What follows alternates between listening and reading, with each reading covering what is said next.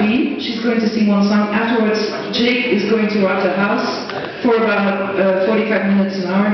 Then uh, we have the blues band, full concert, so it's going to be a party.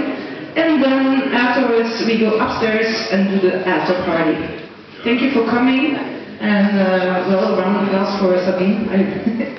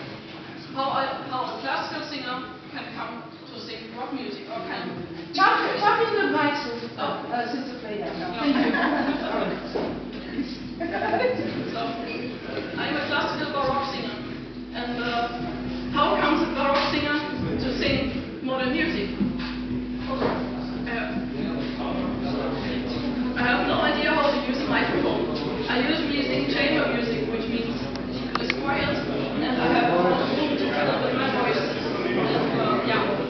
So Springsteen wrote one song that was is possible to be sung by a classical singer, and this song is called "Lift Me Up."